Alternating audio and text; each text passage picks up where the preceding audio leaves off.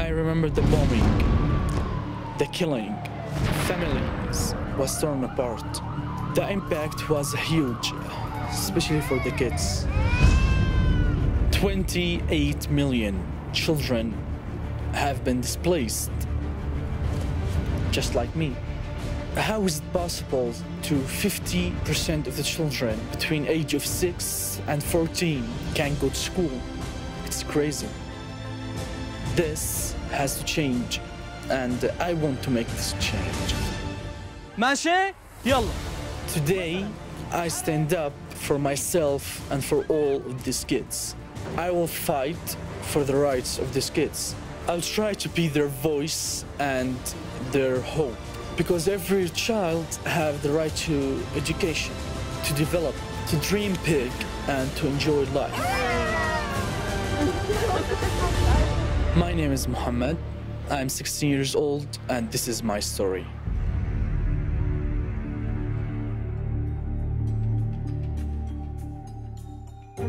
Sixteen years ago, this little boy was born in Syria, Mohamad. He had a very good childhood, full of love, family, and happiness. A carefree youth, like every child deserves. My family lives in Syria, in my hometown as well. It was like normal life. My dad had a job, my mother had a job as well. We bought a house, a car, a different shops for my father. I was just focusing on my school and my friends and having fun all the time. So yeah, life was good. But Mohamad's life changed. With the Syrian revolution, a war started, and it came closer and closer to his hometown. One time I was sitting at my house with my family, and it was the first uh, big bombing happened in my hometown.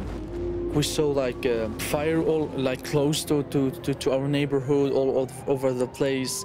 We heard people yelling from, from the closed buildings. I felt like this is what war means. Mohamad's parents were active in the revolution against the regime. His mother was arrested and detained twice. After this, the family received a letter.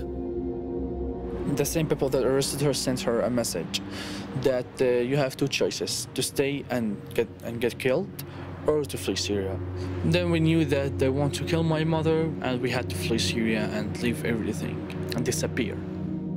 After a long journey, the family arrived in Lebanon, near the big city Beirut. Mohamad's parents couldn't find work in Lebanon, and soon they had no money left. Therefore, Mohamad's father decided to seek asylum in Sweden. Again, I lost something pressure in my life. I lost first my home, my friends, my life, and then I lost my father, mm, my life with him. So things started to disappear, like one by one.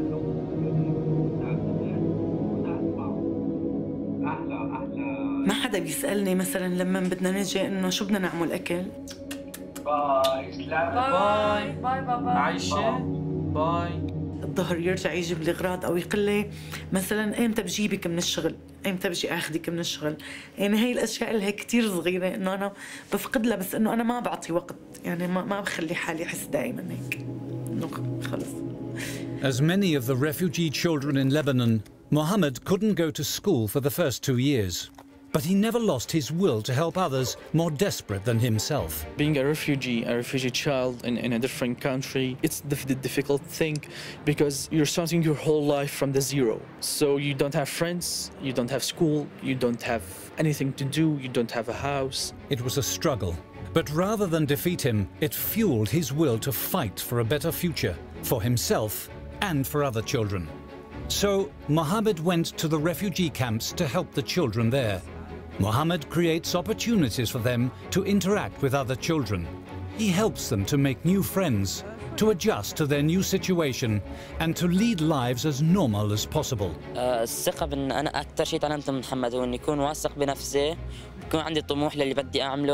He had this like beautiful smile and he was just playing and trying to make them feel happy.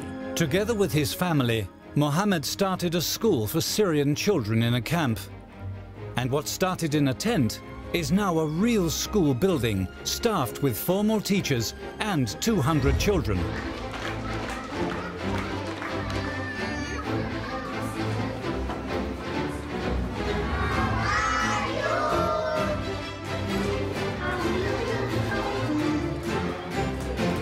For me, every child has the right to learn and have the right to be educated and the right to go to school.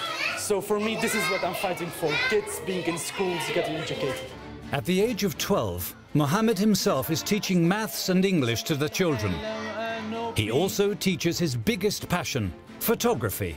He encourages children to take photos of their daily lives. You know, there's a lot of refugees kids who's, who are too shy to talk, but not too shy to take a picture. So the picture can can tell a hundred words.